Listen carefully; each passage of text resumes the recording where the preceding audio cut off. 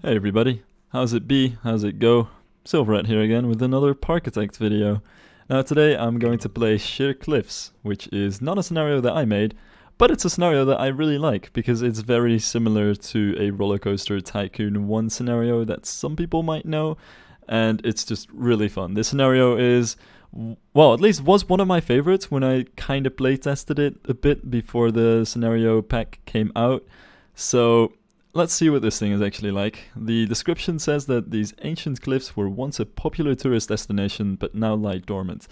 Work some amusement park charm into this small space and bring back the crowds. Now if you look at the goals of this, they're not too intense, we just need to have 500 people in the park. Uh, but once you actually see the full extent of this map, you're gonna see why this is such a challenge and why this is not nearly as easy as it seems, because this map right here is super limited. Uh, at least we have one goal completed, which is to have no loan debts, but I'm probably going to uncomplete that goal at some point in this playthrough. Uh, but yeah, we just have very little available space. Just a little bit of flat land above here, and then some space at the bottom of this cliff to work with as well. We could also extend over here. Um, so clearly the main uh, challenge here is that the terrain is really difficult to work with and really limited. And I'm already wondering whether I actually want to build a path down here or whether I just want to keep everything much more simple. But I think I'm gonna have to do that somehow. I think I'm somehow gonna have to work some sort of path down these cliffs uh, and make sure I can actually build some normal flat rides and stuff like that down here as well. But the main reason why I like this scenario so much, I think, is just that it's so much fun to try and come up with coaster layouts that make use of this really unique geography. Uh, in general, for me personally, uh, having unique kinds of geographies and settings to build your own stuff in is one of my favorite things about playing scenarios. Uh, that even if, you know, it's not all about gameplay, you sometimes have these really creative building elements that you can only get in scenario mode and you don't really get in playing sandbox. And this is just one of them. Sometimes you get these really interesting limitations that force you to be a bit more creative in how you're building. And these kinds of geographical challenges are just kind of my thing. Now, I'm actually not really sure what we start out with here, but yeah, God, that, that is limited. Oof so I think my first priority is actually gonna be to start researching coasters because I'm not gonna be okay with just this choice of rides. Now, I guess the thrill rides are also not too good, but I just really don't like the junior coaster and the wild mouse. So I'm gonna start with that and then we'll see. I don't have too much scenery, so I think I'm gonna keep that very simple. We'll see how uh, what else I can actually add to this map. So without further ado, let's get into it. Alright, now you already know that your boy is not going to be satisfied with a kitty coaster or some stupid wild mouse coaster, so I rolled the dice on the research department and they came up with an RMC Raptor, which is absolutely amazing. I love this coaster type, not just because it's really fun to build, and it seems like a really cool ride in real life as well. For anybody who hasn't checked it out yet, I highly recommend checking out a POV of uh, Wonder Woman Lasso of Truth or RailBlazer at two Six Flags parks. I forgot exactly which ones, uh, but they're super cool coasters of this type that give a really cool example of what you can do with this. Uh, but yeah, it's not only a really cool coaster type realistically, I think, but in terms of gameplay, it's just so nice because you can build it really compact and it's just kind of fun to build. It just looks nice. I don't know. It, it's it's aesthetic. There's something about the look of this track that just makes it really easy to fit into different kinds of spaces. I'd say the only downside to it, of course, is that the uh, the throughput is absolutely horrible because you can only fit about eight people on a train, I think, at max. Uh, maybe you can make them a bit longer, but it's not, you know, uh, double seating as most roller coasters are. It's just a single line of trains with one person per car. So it's highly inefficient, but it's still a good coaster that I think, especially at the start of a scenario, works out really well. Uh, because even though the throughput isn't the very best, you can still get a decent efficiency if you add a mid-course brake run and a brake run at the end of the ride, so yeah, you can have uh, three trains on it. Uh, and as long as you just fit in enough inversions and thrilling elements, you can even ask a quite terrible price for these things. Like usually I think I raised the price to $12 or so, which given the actual amount of money that it takes to build these things, because they are also relatively cheap, is pretty good. So altogether, pretty cool coaster and I'm really glad I started out the scenario with this. The very idea for this layout was just to start the station at the top of the cliff and just use up all of that momentum uh, to make your way through the layout. Have a mid-course brake run in the middle of the layout just to slow it down a little bit. The general area around the mid-course brake run I'd say is very heavily inspired by the layout of RailBlazer, which also has that uh, same kind of turnaround element, except without a brake run. And yeah, just make your way back to the station with a lift hill at the end of the ride, which also makes it really efficient because uh, usually lift hills is kind of where the capacity of your coasters tend to uh, either be limited or where you tend to run into issues where uh, the coaster has to wait on top of the lift hill for the next train to clear the block. And you don't have either of these issues just rolling out of the station. Uh, and once you get back to the ride, you only need a very small amount of uh, lift hill uh, to you know get back up to the station height. It's just really efficient to have a station at the top of the layout. I guess the only thing is that in a real life situation, I'm not a huge fan of having a station somewhere near the top of the layout because it means that you have the most boring part of the ride at the end of the ride as well. Uh, I remember for instance Ninja in Six Flags Magic Mountain is built like this where you start off with a very small lift hill from the station uh, you go through the entire layout, which is really fun. It's such a cool coaster. Uh, but then at the end of it, you have this slow, boring lift hill back into the station. So I do kind of prefer to have a lift hill at the start of a layout so that it builds up the anticipation and you don't have this boring anticlimactic ending to a coaster. But from a gameplay perspective, I think it works out really well. And besides, uh, a drop out of the station is always really cool. There are very few coasters in the world which have a station at a higher altitude than the rest of their layout and have some kind of drop out of the station. Uh, I think the best one that I've personally been in was uh, probably Helix in Liseberg, which drops out of the station at quite a steep angle as well. Like if you sit at the back of the car, you just get some airtime as you whip out of the station, which is absolutely amazing. Such a cool element. So yeah, this is for me at least, these are the kind of things that make building coasters in an interesting geographical location like this cliff so interesting because you can play with these layout elements that you normally don't see unless the coaster is based in some kind of unique geography. Now with uh, the coaster I'm sort of suspending the station above the cliff which makes it possible to drop straight out of the station but not waste too much valuable land space because you do see that you know, the amount of actual flat land that I have on top of these cliffs is very limited. So I wanted to suspend the station off of that so I can have a wide path and not make this whole park seem too crammed. And then I ended up doing the same with this flat ride here, just because I think it looks really cool. I think in real life this is uh, probably a no-go because flat rides need some kind of foundations and supporting uh, that probably wouldn't work like this. I, I really wouldn't see the point of suspending any kind of ride off the edge of a cliff. Even with real life rides that sort of are built on cliffs, they'll always be built on the cliff and then have the actual ride sort of extend over it. I think a good example is probably the Stratosphere Tower in Las Vegas, where there are flat rides on top of a giant tower, but then the actual foundation structures are still uh, very firmly nudged in the middle of the tower and not sort of overhanging it. But yeah, uh, I, uh, I thought it would just look cool on Parkitect, so I'm going with that. There's also a small path leading down the cliffs because I do want to expand the park a bit down there. I don't think it would be doable to build this whole park uh, on top of the cliff and beside I just really like the uh, idea of having this winding pathway that narrowly climbs up and down the cliff. I'm not sure how much the guests are going to like it, because I think they're probably going to get very tired once they have to climb up this thing. Uh, but it looks cool, so I'm going with it. Now the rest of this uh, park I actually kind of want to theme almost as if it were a beachside resort. Which is a bit strange, I guess, because in this uh, this context, the the beachside apartments and hotels and uh, beach houses and things like this that you would normally see at a beach resort are perched on top of the rocks instead of actually being at the beach.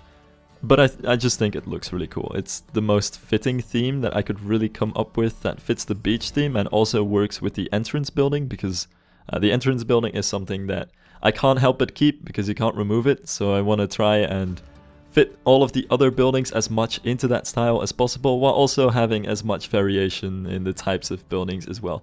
So I figured within that whole context, uh, I think the, the theme of having some sort of beach resort uh, works best. And to establish that theme, I figured that nothing works better than a big apartment building, which I guess here would probably be a hotel. I think this would work quite well as a small kind of themed hotel building kind of modern architecture, much more new than the other buildings, but you know, uh, at this size, you can't just make a building that looks like a tiki hut and is built out of logs and thatch roofs, so I think it works like this. Uh, it's also probably the best place to put this building because it's right in front of a section of the cliff where there's no building uh, in front of it, you don't have the coaster station or a flat ride in front of it.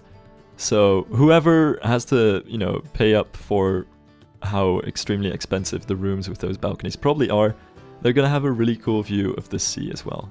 And next to that, it's time for a, a, food court of some sort, I figured. So this is going to be my food building. Very simple. There's not really going to be much to it, but it helps to cover up the area behind these two buildings, which is going to be the, the backstage uh, kind of section. And I believe between these two buildings, I just built a very small alleyway that allows the staff uh, to get to the backside. Now at this point, I was actually struggling because I realized looking at my research for stalls, which I forgot to look into earlier, uh, I actually didn't have much to work with.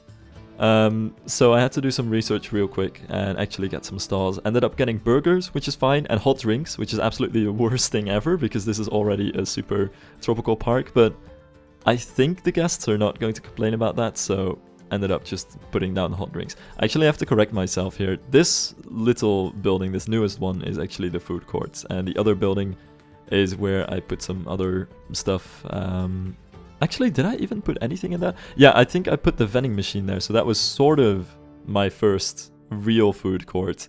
Uh, because before I had the stalls, I just had a vending machine, so people could buy cans and chips, which is kind of terrible, but at least it's some food and drinks. And then once I actually got the research, I built the new proper uh, food market.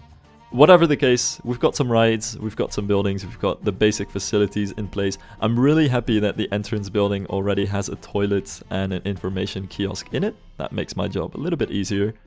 And yeah, next to that I decided to just build a top spin because it's just about the only ride that I could feasibly fit into a space on this map. Uh, but I think it works decently well. And even if you're in the top spin, you do have that view down the cliff, which is really cool. Probably one of the coolest settings for a top spin.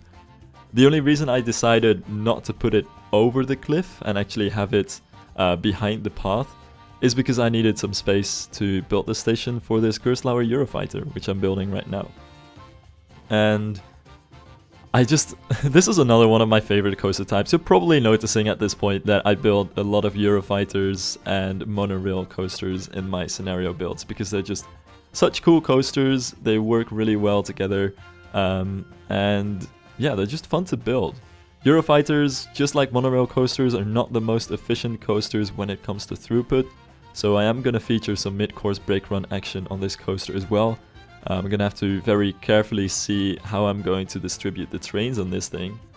But altogether, I think it works decent in this setting. And the cool thing is also that you don't even have to do the vertical lift hill at the start of the layout. I'm just dropping straight from the, uh, from the station into that vertical drop down the cliff, which is pretty cool.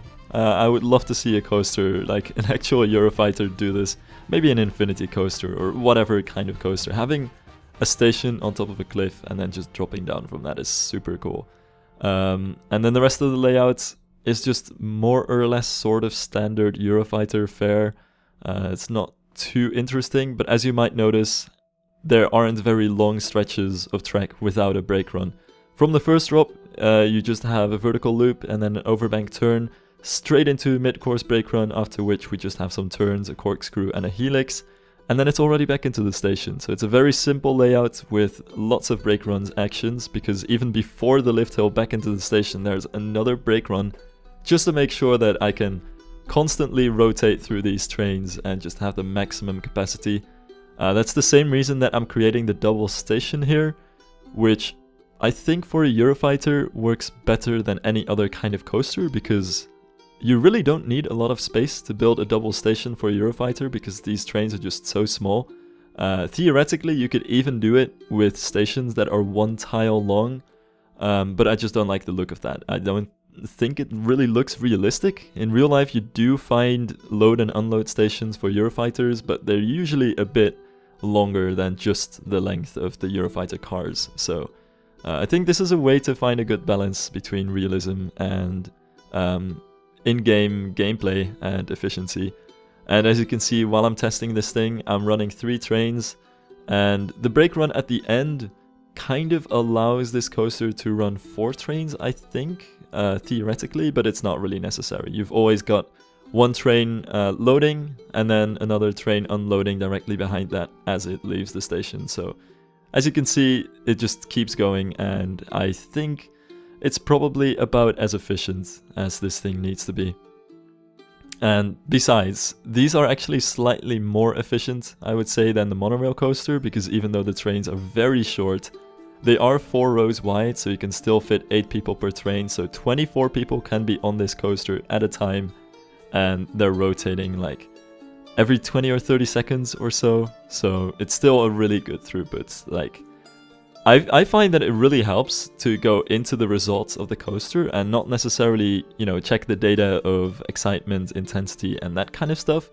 Uh, even though that's also really important, but I think it's also it's always important to note how many people can ride the coaster uh, per hour at max, and then see, you know, how much money can you ask them to ride this coaster, and then see how much profit am I going to make off of this coaster when it's running at its best, which it usually isn't because every now and then it rains or uh, you just don't fill the entire queue. Uh, but for this Eurofighter, I think it went over one and a half thousand dollars, so that's really good. So I decided to just leave it as this. It's uh, about as efficient as you can reasonably make a somewhat realistic Eurofighter layout in this game, I think. And then for everything else, I'm just making this very similar actually to the station of the monorail coaster, just with a different roof color. And kind of playing with the queue there a bit, making this kind of uh, green roof on top of a wooden structure to cover the queue line. I also put a lot of trees into the, the cliff face, as you might see, uh, which are actually sakura trees, they're actually the cherry blossom trees, but if you make them green and sink them into rock work and combine them with palm trees and things like this, I think they make for some really good tropical shrubbery. Uh, so you can put, you can see me putting those trees everywhere. Uh, another thing that you might have noticed is that I'm using those trees to get rid of supports, because if it weren't for those trees, uh, there would be supports underneath the station of the monorail coaster and underneath the uh, flat ride, which is suspended off the side of the cliff. And I didn't want to have those supports, I wanted to make my own custom ones, so I used a bunch of trees underneath it to remove the supports. So just a little tip, sometimes if you want to get rid of supports of coasters, you can put a bunch of shrubbery underneath it, and as long as you're using trees that are sunken into the ground to make those shrubs, uh, then the supports are gonna disappear, and that can be pretty handy. Now my final ride Oof, whoa, my chair is being really loud. I hope you didn't hear that. Probably did. My my final ride of this uh, episode is going to be a junior coaster, which I've also built so many of. So I'm really trying my hardest to come up with new layouts for these things as well. Uh, it's not always easy because I've kind of done everything at this point, but I think this layout manages to do something new and also explore this little island, which I just bought by the way. This is not something that you get with the scenario, but you can buy it for what, like $10,000 or something like that. It's not the cheapest thing, uh, but with the monorail coaster and the Eurofighter, the money was already flowing in like crazy, so I felt pretty uh, confident to just infinitely spend money on whatever I wanted to, because as you can see, I'm earning like over 2,000 a month, so that's more than good enough. And I'm not really going to add too much to this island otherwise, I'm going to keep it quite simple. Um, but I think it's a, it's a nice way to finish the scenario and actually make use of all of the land that's available to me and not just keep everything uh, on top and around of those cliffs. Now, as for the theme of this, I actually don't quite know what the general area of this general build would be. It's very generic, kind of tropical. Uh, it could probably be somewhere in South America, but just as well be on a tropical island somewhere. Uh, or maybe even be Mediterranean, if you could even find cliffs like this anywhere in the Mediterranean. I'm really not sure, uh, but I think it works alright because even in uh, some tropical regions in the world and South America, you do find a lot of Mediterranean influences in architecture. So this is the general theme that I'm going for, I would say. And because this is a, a nautical theme, and we do have the ocean here, presumably, I'm just assuming that this is probably the ocean and we just are building on some sandbanks here. I wanted to build a little lighthouse over here as well. And this is really a lighthouse lighthouse because it's not just a tower, I'm also attaching a little house to it. And just going for this generic kind of Mediterranean stucco architecture. It's very difficult to create very specific themes in this game because everything is just so basic that I think it's more about the vibe that you're getting from any particular building as opposed to details. Uh, because even when it comes to distinguishing between different styles of Roman architecture or other classical architecture or maybe even Egyptian or things like this, there isn't that much that you can create in terms of differences. It's all just more about general appearance and colors and how everything comes together. So um, yeah, it's hard to say that there's anything particular about this build. I would, I just loved the way that this looked, uh, having this little house on the rocks and just putting a bunch of palm trees and ferns and bushes around it and having a bit of interaction with the coaster as well. I think it's a lot more interesting than just leaving this whole area bare. And then I'm also creating a very small path leading up to the lighthouse from the real path, which of course people aren't going to be able to walk. Uh, but I think it adds a little bit of theming to the entire uh, look of this. Another thing that I ended up adding is some grass patches here and there, which I think kind of resembles the, the helm grass that you find in sand dunes. Of course the grass isn't really meant for this. Normally I find that I really don't use that much grass because it's just very heavy on your CPU and it's really tall. Uh, I'm honestly fine with just leaving all of the grass in my scenario playthroughs uh, completely empty. Uh, but for a case like this, I think the grass patches really pop out and create this sort of sand dune look. So I it was kind of an accident. I was just wondering, you know, what kind of shrubbery I could put on the beach because I wanted to have some ground shrubbery, but of course not too much because it is a, a beach after all and it is just sand. Uh, but I think this works out really well. And it's definitely something that I want to remember for in the future in case I ever do any more desert scenarios or things like this, because this just works out pretty well. And then when it comes to the station of this coaster, again, very similar kind of architecture. I'm just using uh, some of the round uh, pillars from the castle set, which are supposed to be stone pillars, but just giving them a wooden color makes them kind of look like really dark wooden logs. And then using the border pieces, which have those little ends which I'm actually not sure what they're supposed to be used for. Uh, could be for doorways or things like this. Um, but yeah, I like to use those at the end of the pillars uh, to make them resemble the, the fact that these logs in real life sort of go into each other and uh, I don't know, it's, it's a really, it's really difficult to describe it. But in real life logs, you know, in this kind of architecture don't perfectly just attach to one another and you'll often see them uh, either roped to different uh, logs so they don't use nails or anything like this. So you can always have parts of logs sticking out. Uh, so using some of those little pieces and making the pillars a little bit higher than the horizontal logs are uh, really creates the same kind of look even if we can't make these roped together uh, log structures in this game because that's just too fine a level of detail. So yeah, that's basically it for the station. And then I decided to add one more flat ride over here, because I got it, which is the pirate ship, which I think works out really well with the theme, and especially this part of the park being a bit more ocean themed than the rest of the park is. And with just a small pier and a small pavilion with some benches to sit down at, that is basically the scenario finished. So I didn't even do a real-time section in the middle of this time lapse because I was just on a roll and I just wanted to keep going. And all in all, this turned out to be one of the quickest scenarios that I've done, uh, but really fun. I really enjoyed trying to work with the uh, interesting geographical challenges, and building some coasters on the cliffs is just really cool. So, one of my favorite scenarios, at least the playthrough so far, I'd say.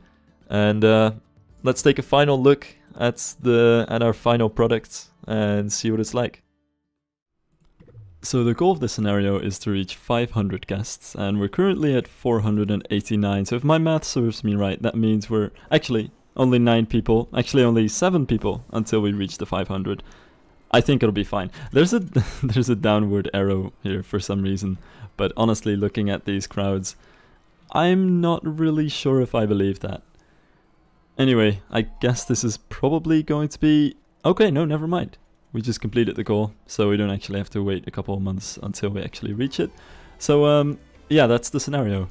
This was quite a short one, but um, I had fun. Let's move on to the next video. Now I'm just kidding. Um, I'm gonna do a quick POV of some of the coasters out here because I think the layouts are pretty interesting and it would be nice to go over some of the scenery.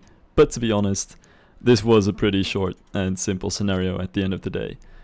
So Obviously, we have the uh, RMC Raptor coaster over here, which honestly, I just, I can never get enough of these things. I know I've said this so many times before, but these things are just so fun to build. And they're always much better in terms of capacity than you would think, especially if you add a couple of mid-course brake runs. And they just look so good. I just love the way that the track kind of flows as a ribbon. So I try to uh, preserve that look in this layout as well and just make it this kind of ribbon-like layout flowing next to the uh, the cliff sides here. And basically just after a couple of very standard elements, we go into this really strange final inversion into the lift hill. I just love coasters that end with the lift hill. Uh, it's not great for a climax, but it is very satisfying to not have to waste any uh, kinetic energy on the ride. So after that, we can move to the Eurofighter, which does basically the same thing. Actually, let's just catch a quick POV on this one. and I still like how this layout is kind of standard fare for Eurofighter. It's a bit more sprawled out, especially around this area you can see it's kind of unusual with the mid-course brake run as well. Uh, but otherwise, it uses some very standard elements for a Eurofighter just with the station at the top of the layout rather than at the bottom of it. And again, I think the emphasis on efficiency and throughput for both of these coasters uh, was pretty good because I do have quite a queue for this one and I'm really trying to get as much capacity from this thing as I can. Um, but looking at it, the theoretical amount of customers per month is 132, which is not too bad in Parkitect. And the max theoretical earnings are also um, 1,500 something, or at least uh, that's what it's at right now, which honestly is pretty good, I'd say. So finally, of course, we have the junior coaster, and I also have to say I think this is my favorite ride in the park, or in general, my favorite area. It's the one that feels most coherent, kind of like the most recent expansion to the park. And even though it's very simple and only features these two rides, and I need to probably fix up the timing on the block brakes, actually, looking at this. Um, I just like the way that it all fits together.